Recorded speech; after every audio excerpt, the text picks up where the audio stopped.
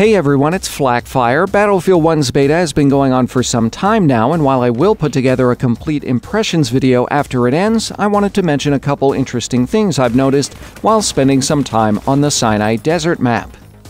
I wouldn't necessarily call them Easter eggs since I don't think they're anything too cheeky, but they probably hint at what's to come in Battlefield 1. So, the first thing I want to mention is that a map can be found on a table near the British spawn. It can be found in at least one other place on the map, but this is the most convenient. The map clearly shows the country of Belgium. Now, why this is in the Sinai Desert map, I have no idea. It's probably just there to make it more visually interesting, but it also raises a few questions. None of the confirmed maps for Battlefield 1 are actually set in Belgium. St. Quentin Scar and Amiens are both set in France.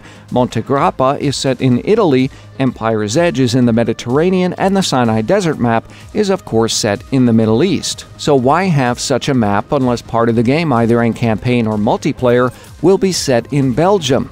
Interestingly, a while back someone posted an image allegedly from the Battlefield 1 website's map section showing the name Trenches of Ypres. If it was legitimate, it was quickly removed. The presence of the Belgian map on Sinai Desert might validate that rumor.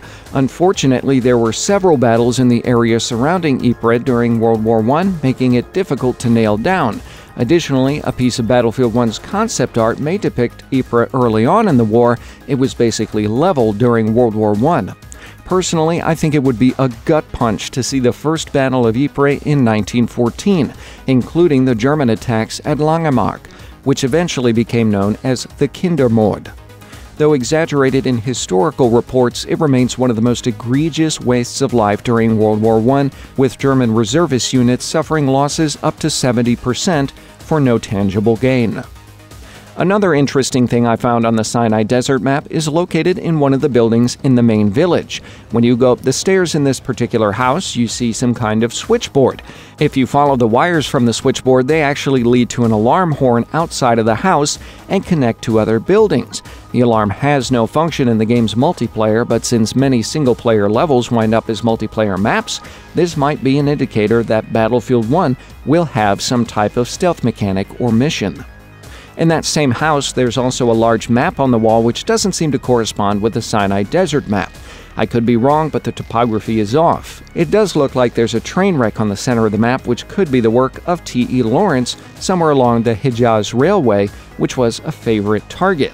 This also might foreshadow some of the game's single player experiences. Either way, take this information with a grain of salt, but since I poked around the Sinai Desert map for a while, I figured I should mention some things that piqued my interest. What do you think? Tell me in the comments. If you enjoyed this video, leave a like, share on websites like Facebook and Twitter, and of course, subscribe. Thanks for watching.